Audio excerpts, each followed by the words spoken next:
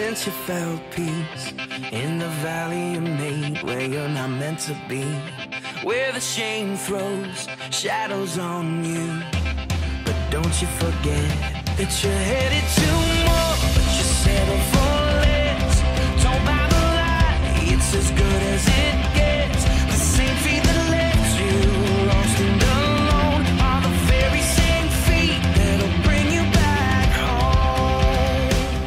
more blessed to give than to receive, and I think that I can say that I feel more blessed being here today than the kids were, and just to see their faces.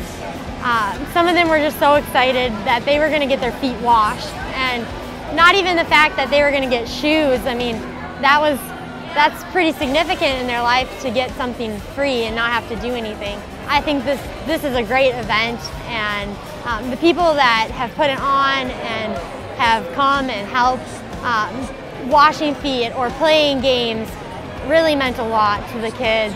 It's one of the great benefits we get from being students here at UC.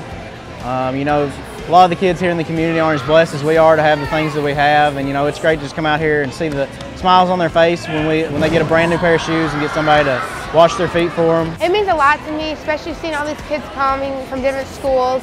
It's just it's it's touching a lot because kids like look up to us a lot, especially all the athletes, and they know that like we're like the heroes and stuff. And I know it means a lot to them, like getting out and coming here and seeing all of us helping them. I know it'll be a day they will never forget. I asked them, I said, what, what was your favorite part? They said, getting new shoes and playing games. So, you know, you don't think about something three hours a day being so simple, meaning so much to them. You know, some of these kids don't have a clean pair of socks, much less a nice pair of shoes, so they walk out here with a big smile on their face. It shows that we care, because we do.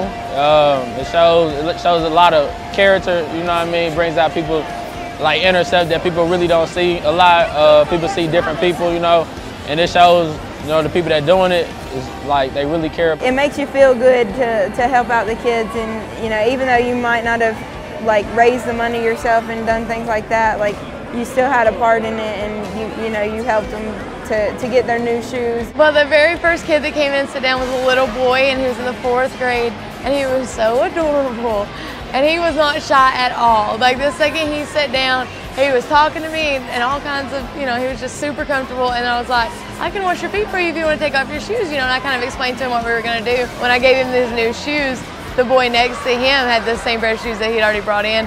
And they were so excited, they were fist bumping about their new shoes. I think the school does a great job of doing what it preaches. You know, they're all about community service, and I think this really exemplifies, you know, the mission of the college. And I think it's fantastic that they're able to bring so many student athletes and schools and everything together. And, you know, I'm proud to be a part of it.